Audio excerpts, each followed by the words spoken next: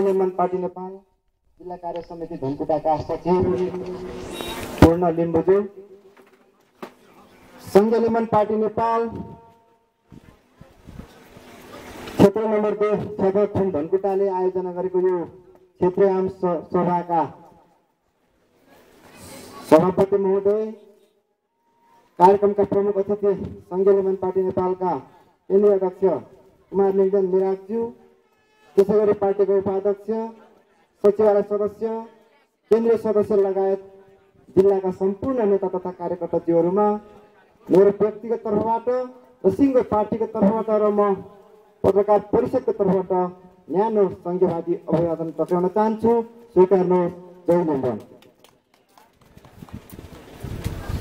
सङ्घीय निर्माण पार्टी नेपाल आजभन्दा दुई वर्ष अगाडि जब पाँचवटा लिम्- लिम्बुवानी जन्य सङ्गठनहरूको एकीकरण पश्चात जन्मिएको पार्टी हो तर विगत दस वर्षदेखि सङ्घीय लोकतान्त्रिक राष्ट्र मञ्च सम्बद्ध सङ्घीय निर्माण राज्य परिषद भनेर हामीले औरात र अरुण पूर्व नौवटा जिल्लाहरूमा निर्माण स्वायत्त राज्य सुनिश्चितका लागि हामी राजनीतिक रूपमा आन्दोलित भइरहेको यहाँहरू सबैलाई सर्वहितै हुनसक्छ हुनसक्छ यो जितपुर बजारमा जन्मिएको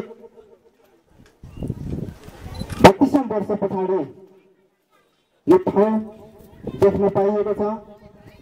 र यो भूमि लिम्बन अन्तर्गतको एकका स्वायत्त परिषद हुनुपर्छ भनेर सङ्घीय निर्माण पार्टी नेपालले वकालत गरिरहेको म यहाँहरूलाई स्पष्ट गर्न चाहन्छु।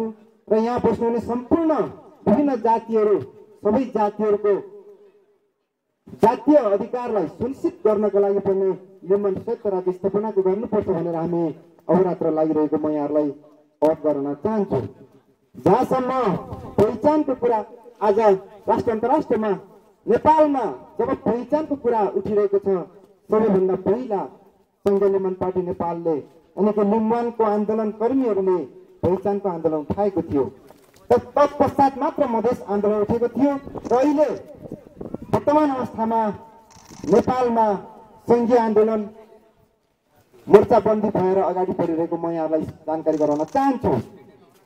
जब एकात्मक राज्य सत्ताले सङ्घीय शक्तिहरूलाई विभिन्न टुक्रा टुक्रामा विभाजित गरिसके पछाडि अहिले सङ्घीय आन्दोलन कमजोर भएको तपाईँ हामीलाई महसुस हुन सक्छ। यहाँ हुनुहुन्छ एकात्मकवादी शक्तिका अरौटे भरौटे मित्रहरू तपाईँहरूले राम्ररी कान खोलेर सुन्नुहोस्।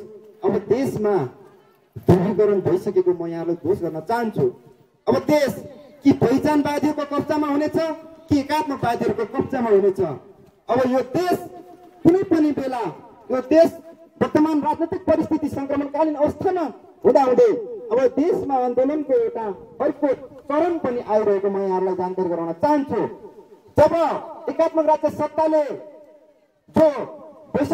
त्रिसठीको जनआन्दोलन पछाडि राजतन्त्र ढालियो राजतन्त्र फालिसके पछाडि गणतन्त्र स्थापना गरियो भनेर हामी गरिरहेका छौँ तर हामीले चाहेको हामी पहिचानवादी शक्तिहरूले चाहेको संहिताको आन्दोलन अझै पनि बाँकी रहेको म यहाँहरूलाई जानकारी गराउन चाहन्छु हामीले सुरु गरिसकेका छौँ भर्खरै मधेस आन्दोलनमा सन्ताउन्नजना मधेसी साथीहरू शहीद भएका छन् तर पनि राज्य मौन रहेको म यहाँलाई पेश गर्न चाहन्छु अहिलेसम्म पनि मधेसमा साधकता प्राप्त गरेका मधेसी जनताहरूले आफ्नो अग्राधिकार सुनिश्चितका लागि औरत र लड्दाखेरि पनि उहाँहरूले आफ्नो अधिकार सुनिश्चित हुन उहाँहरूको अधिकार प्राप्त भएको छैन।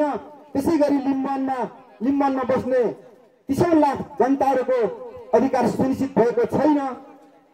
भलै एकात्मकवादीहरू यहाँनिर विकासका लाखौँ करोडौँ रुपियाँहरू यहाँनिर फाल्न सक्छन्।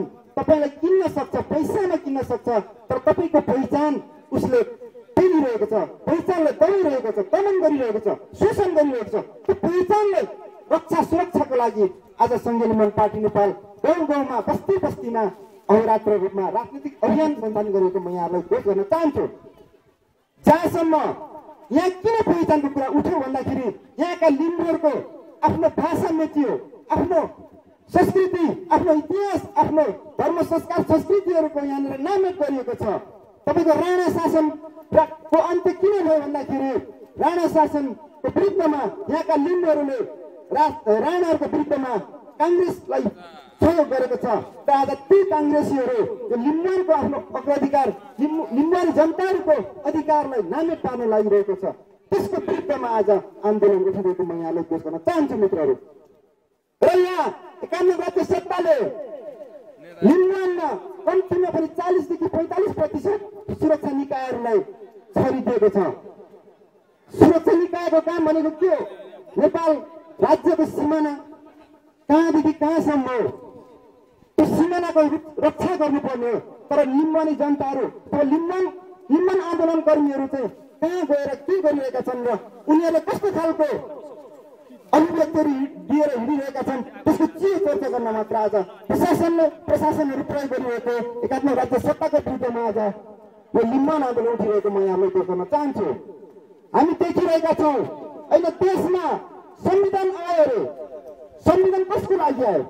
सिङ्गो तिन नेपाली जनताको लागि संविधान आएको हो कि एकात्मक राज्य सत्ताको लागि मात्रै संविधान आएको तपाईँहरूले यो बुझ्नु जरुरी छ। एमाले काङ्ग्रेस र ए माओवादीको संविधान हो कि सिङ्गो नेपाली जनताको संविधान हो त्यो बुझ्नु जरुरी छ मित्रहरू तपाईँहरू यहाँ चित्तीमा बस्नुहुन्छ तपाईँहरू धन्दिबाको चित्तीमा बस्नुहुन्छ तर एकात्मक राज्य सत्ता सिंहदरबार कब्जा गरेर बसेको छ सिंहदरबारले तपाईँलाई शासन गरिरहेको छ हामी चाहन्छौँ शुद्ध सरकार शुद्ध शासन चाहियो स्थानीय शासन चाहियो स्थानीय जनताले आफ्नो स्थानमा के को विकास गर्नुपर्ने यहाँ बाटो खन्नु पर्ने हो कि यहाँनिर कुलो ल्याउनु पर्ने हो कि यहाँनिर सोलर बत्ती जडान गर्नुपर्ने हो त्यो स्थानीय जनताको अग्राधिकारको कुरा हो। तर सिंहदरबारले तपाईँको बजेट पठाइदिन्छ पचास लाख पच्चिस लाख झ्यामदारी दिन्छ।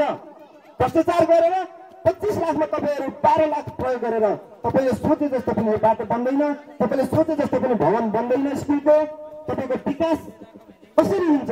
तर तपाईँ हामीलाई कालो मुकुण्ड उडाइदिएको छ एकात्म राज्य सत्ताले। हामी त्यो बजेट स्वीकारिरहेका छौँ। यहाँनिर सडचालिस लाखको कुनै मोटर बाटो खन्ने आयोजना आउँछ। जब इबिट हुन्छ टेन्डर हुन्छ जम्मा जम्मी बिस लाखमा पनि त्यो टेन्डर लाग्दैन अनि बाटो बन्दैन। किन बन्दैन? भ्रष्टाचार भइरहेको छ मित्रहरू। हामी चाहन्छौँ त्यो सडचालिस लाख आएको बाटोको बजेट सडचालिस लाख लाखमा एक रुपियाँ पनि कम नभइकन त्यो बजेट विनियोजन हुनुपर्छ। त्यो बजेट लागू हुनुपर्छ त्यो विकासको बाटोमा भन्ने हाम्रो भनाइ हो। तर त्यो हुँदैन मित्रहरू। यो एकात्म राज्य सत्ताले सम्पूर्ण शक्ति आफ्नो पन्जामा राखेको छ आफ्नो मुठीमा राखेको छ अनि तपाईँ हामी जो आज हिमरान हिमरान कमिसन भन्दै गरिरहेका जनताहरूलाई दिन दहाडलाई हत्या गरिरहेको छ मित्रहरू त्यसैले गर्दाखेरि पहिचानवादी शक्तिहरू अहिले मोर्चाबन्दी भएका छौँ विभिन्न पार्टीहरू संयुक्त चाहने लिम्बाङ खम्बन चाहने प्रदेश चाहने शक्तिहरू अहिले मोर्चाबन्दी भएर एकात्मक राज्य सत्ता एमाले काङ्ग्रेस ए माओवादीको विरुद्धमा सिंहदरबार घेराउ अभियानसम्मको कार्यक्रम तय गरेर विभिन्न गाउँ गाउँ बस्ती बस्तीबाट सङ्घीयवादी शक्तिहरूलाई काठमाडौँ केन्द्रित आन्दोलनमा आह्वान गर्नको लागि निमन्त्रण गर्न- गर्नको लागि आज सङ्घलिमन पार्टी नेपाल यहाँहरू माझ आइपुगेको म यहाँलाई जानकारी गराउँदै विभिन्न सूचना म एउटा पत्रकारको हिसाबले पनि म बोलिरहेको छु मित्रहरू तपाईँ हाम्रो चित्तीमा विकास हुन्छ पत्रकारको कानमा आँखामा पर्दैन मित्रहरू। यहाँका नराम्रा कुराहरू तपाईँ यहाँनिर झगडा गर्नुहोस् पिटपिट गर्नुहोस् त्यो सूचना पुग्छ पत्रकारको। आँखामा अथवा कलममा तर तपाईँ यहाँ राम्रो काम गर्नुहोस् त्यो त्यसको पत्रकारले कहिले पनि व्याख्या विश्लेषण गर्दैन। पत्रकारिता भनेको राज्य सत्ताले यो भनेर उसको एउटा मापदण्ड हुन्छ। पत्रकार भनेको त्यो मापदण्ड अनुसार चल्नुपर्ने हुन्छ। तपाईँ हामी जस्तो पत्रकार पिछले गएर हिँड्न पाउँदैनौँ। हामी पनि यो भाषण गरिरहेका छौँ। यो कुरो पत्रकार महासङ्घमा गयो भने उसले स्पष्टीकरण सोध्न थाल्छ मित्रहरू। यति साह्रो एकात्मकवादीहरू आफ्नो पन्जामा राख्न चाहन्छ। हरेक निकायले हामीलाई कब्जामा राख्न चाहन्छ। त्यसैले गर्दाखेरि त्यसको विरुद्धमा हामी सङ्घीय शक्तिहरू सङ्घीयवादी पार्टीहरू आज गाउँ गाउँमा उपस्थित भएको म यहाँलाई जानकारी गराउँदै बाँकी कुराहरू अन्य वक्ताहरू र पार्टीका केन्द्रीय अध्यक्षज्यूबाट यहाँहरूले सुन्नु नै छ भन्ने कुरा जानकारी गराउँदै मेरो छोटो भनेर यहाँ अन्त गर्न चाहन्छु सङ्घीय जय निर्माण